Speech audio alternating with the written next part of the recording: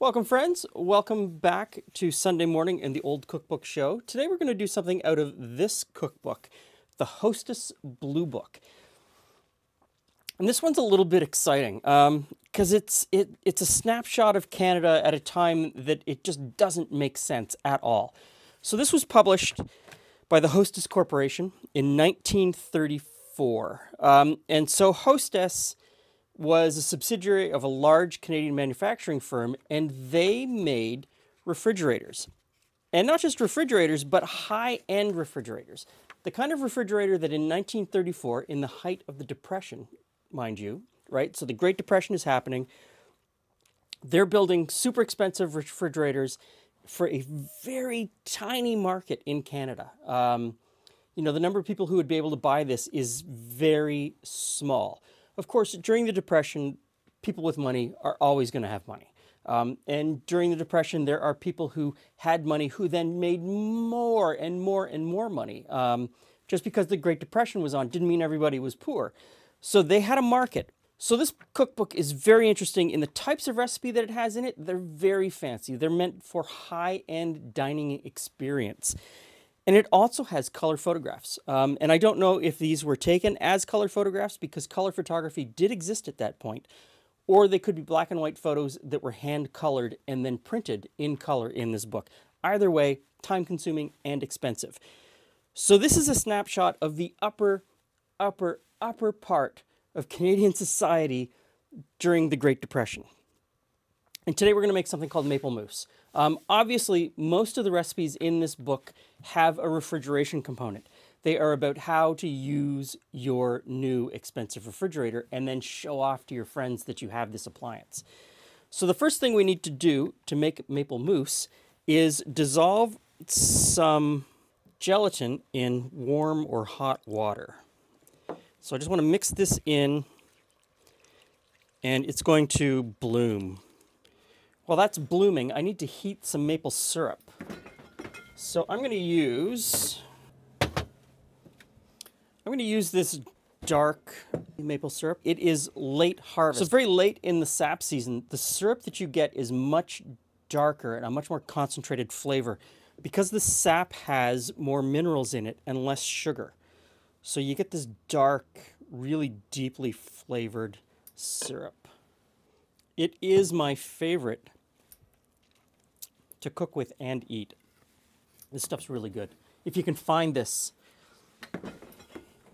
Okay. So, got a small pot here, and we just want to heat it. Uh, it doesn't say to make it too hot. It just says to heat it, and I think that's just to get the chill off because you've kept it in your refrigerator.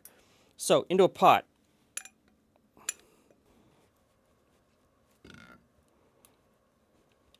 Okay, I think we're warm enough. So, I'm going to pour this into the gelatin. And I'm just going to stir it into the gelatin. Now, the instructions say stir it in, allow it to cool, and partially set before moving on to the next step.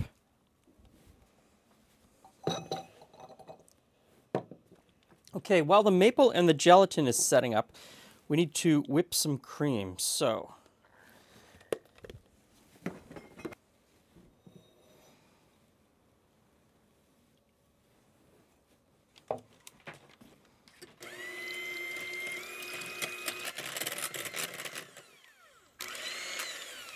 Okay, that looks good. The cream is whipped. So, now it says to fold the cream and the nuts into this maple mixture. Okay, so I'm going to toss the nuts in first. And then we'll start it with maybe a third of the whipped cream and fold that in. Okay, now it tells me to pour this into a glass mold and freeze into a brick uh, in the evaporator. I imagine there would have probably been a very fancy mold, and probably people still have them out there in their in their china cabinets. A really nice fancy mold for something like this. Um, and judging by the table setting in one of the photographs, um, you can be guaranteed that there was a fancy, fancy mold to put it in. I'm just going to leave it in this bowl. I'm going to stick it in the freezer for an hour and a half, like it tells me, and then scoop it right out of this bowl. But I could see how, if you were having a fancy dinner party, um, even putting it in individual servings, it says it serves six. Putting this in individual servings and then presenting your guest with the serving would be absolutely uh, just an incredible experience for your guests. So, into the freezer.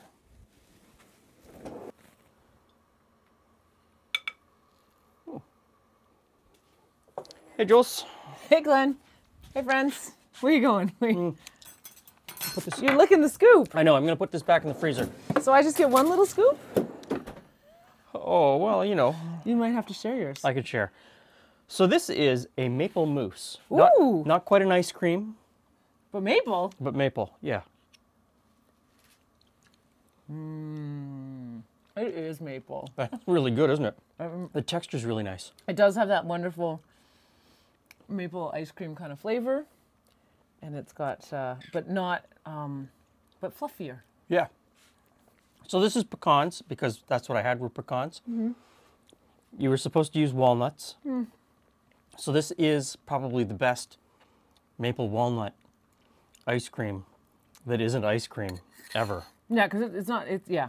But it's pretty, pretty good. It's got, the, it's got all the joyful flavors to it. So this is a crazy cookbook. I mean,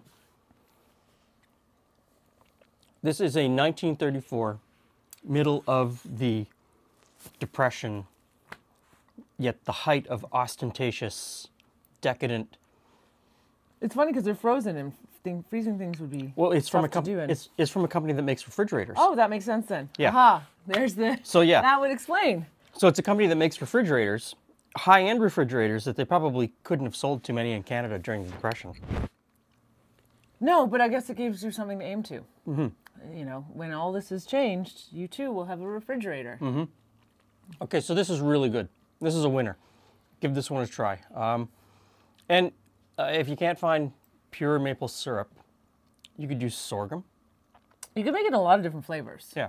Any kind of something that make something that brings you joy. Yeah. my friend. Something But- that brings you joy. Any sort of any sort of sugary syrup um, would would work in this for sure. Yeah. Thanks for stopping by. See you again soon.